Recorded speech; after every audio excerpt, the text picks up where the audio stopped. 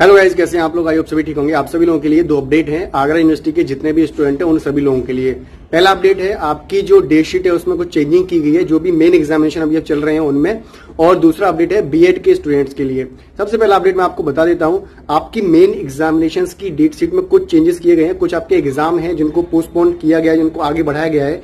पहला आपका जो पेपर है, वो बी थर्ड ईयर के लिए music tabla part one paper one B A third year के लिए म्यूज़िक वोकल और सितार पेपर वन ठीक है? और ये पेपर आपका 9 तारीख को होना था 9 जून को होना था, और इस पेपर को अब पहुँचा दिया गया है 10 जून के लिए, ठीक है?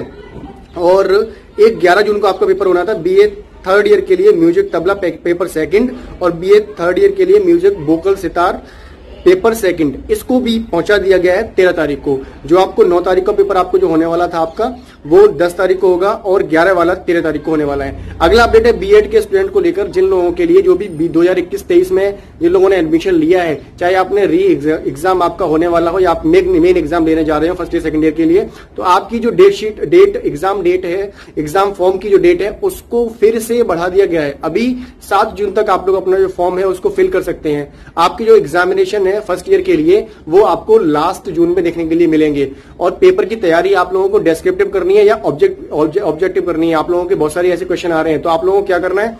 अभी जो आपकी तैयारी है, वो आप लोग बिल्कुल डेस्क्रिप्टिव की तरह करिए, क्योंकि कुछ भी अभी ऑफिशियल नहीं कहा गया है आगरा यूनिवर्सिटी तरफ़ से। अगर कोई बता रहा है तो बिल्कुल गलत बता रहा है, वो अपने आधार पे अपना जो है अजम्पन लगा रहा है उसके अंदर, ठीक है? आप लोग अपना जो तैयारी है डेस्क्रिप्टिव के हिसाब से कीजिए। अगर ऑब्जेक्टिव पेपर होता है तो आपके लिए तो फ़ायदा ही है, क्योंकि आप लोगों ने तैयारी अपनी डेस्क्रिप्टिव के हिसाब से की है ऑब्जेक्टिव आप लोग टिक आराम से कर सकते हैं, ठीक है? अगर कोई ऑफिशियल अपडेट आता है तो मैं आपको वीडियो के माध्यम से बता दूँगा। चैनल को सब्सक्राइब करके बेलाइकन को प्रेस करके रखिए। और ये जो भी आर्टिकल्स होते हैं या फिर जो सर्कुलर जारी किए जाते हैं आगरा यूनिवर्सिटी की साइट पे, वो आपको साइट पे मिल जाते हैं और हमारे टेलीग्राम चैनल पर मिल जाते हैं। तो टेलीग्राम चैनल को जल्दी से ज्वाइन कर लीजिए। और अगर कोई भी क्वेरी कोई भी क्वेश्चन है तो नीचे कमेंट कर सकते हैं। फेसबुक इंस्टाग्राम टेलीग्राम पर फॉलो नहीं किया है तो जल्दी से कर लीजिए। सभी लिंक्स आपको नीचे डिस्क्रिप्शन बॉक्स में मिल जाएँगे। मिलते हैं नेक्स्ट वीडियो में। ऐसी एक इन्फॉर्मेटिव वीडियो के साथ। तब तक के लिए जय हिंद, वंदे मातरम।